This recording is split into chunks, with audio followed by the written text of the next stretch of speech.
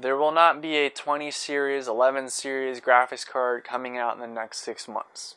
Now, before you know, you get upset at me because I have very compelling reasons why the graphics cards will not be coming out. Let me explain. First off, number one, I am all for new graphics cards coming out. I think it will be extremely awesome for these GPU prices. Yes, they're going down at the time of this video, and yes, I think that it's even better if they go down even farther with new graphics cards. So my point being is, I'm not making this video because I don't want to see new cards. I would really want to see new cards. That's not why I'm making this video. I feel like, first of all, two reasons. Number one, there's been a lot of mishope. I don't know. People are waiting for these new cards to come out, and they're not going to be coming out for a bit. Six months, maybe. Yeah, I don't want to think anything past that. We'll just say six months.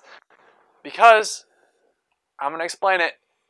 NVIDIA has released another graphics card, and now you're going, well, another one. Aren't they supposed to release these new series? No, they released another Pascal graphics card. Now, why is this sad news? Well, it actually is pretty bad news. So, first off, NVIDIA has never in their history released a card, especially from the last gen, and then right, right uh, real quick, right around, released the next gen card afterwards. We've seen at least a six month to a year gap. Now, I hope that it's not a year that we don't see. And honestly, I hope if you're watching this video in the future and you're going, oh, I was wrong, I am glad. I hope I am wrong. Please let me be wrong. That's what I want. But I'm making this video because I feel like there's a lot of YouTubers out there, a lot of big YouTubers that can just go around and say, hey, let me just get a bunch of views by saying the graphics card is, you know, pretty close. It's going to release soon when we don't have either any proof, because we have people saying it's June, and we just got another graphics card in May. It's not happening. And I'm not trying to be critical of other people and I'm not naming anybody. I'm just saying it's hard to sit down and tell somebody, you know, tell your fans that that's supposed to happen. So let's also talk about a couple other reasons why they won't be coming out. Now, I made a whole video talking about why I'm pretty positive before we even got into the situation even before this graphics card came out, talking about why I'll be at the end of this year, and this kind of reinforces it. Now, I'm going to give you a quick summary of that video because honestly, if you're watching this, you really don't want to go feel, I, I, personally wouldn't feel like clicking away to find some video from, I don't know, three weeks, four weeks ago. So I'm going to explain it real quick in a summary. So first off, I was looking at it from a manufacturing standpoint. So for example, you know, you have this new RAM which offers a, you know, substantial speed and performance boost over the past generation. It's a quick and easy way um, to you know have the consumers foot the bill. And this is looking at from the video standpoint. Basically, they just pay for the RAM prices, and you don't have to pay for much R&D to get better performance and speeds.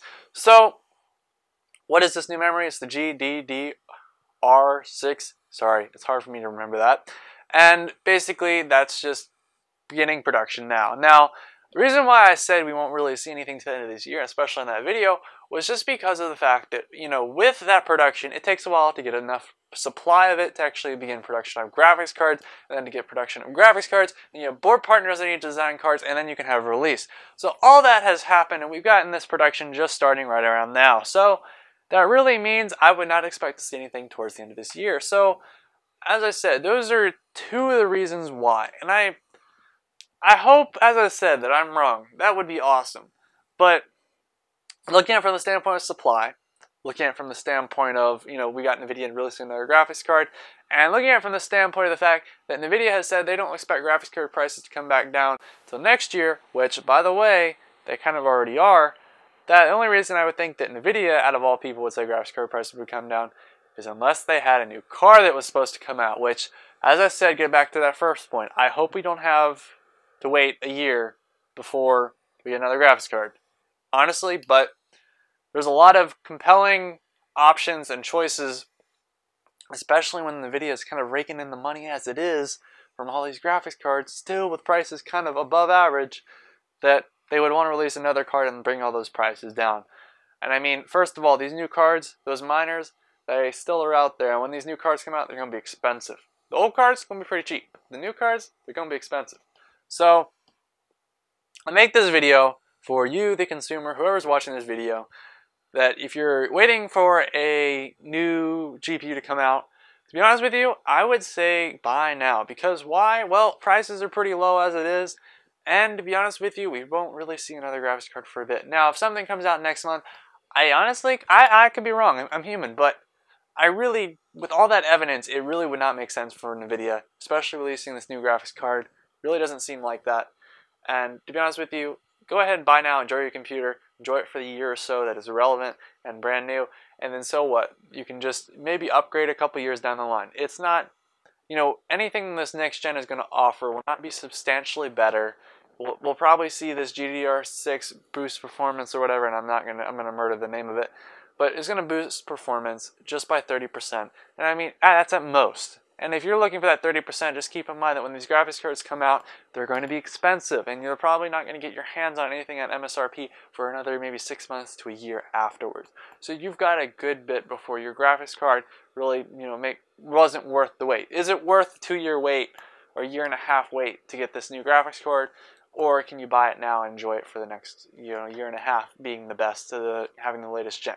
So I hope you enjoyed today's video. If you did, of course, check out my channel for other cool tech-related things.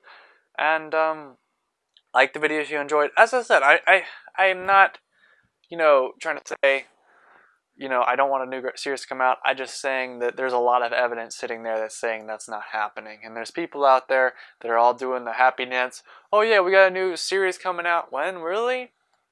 Yeah, not not happening. So thank you for watching. As I said, like if you enjoyed, and of course, goodbye.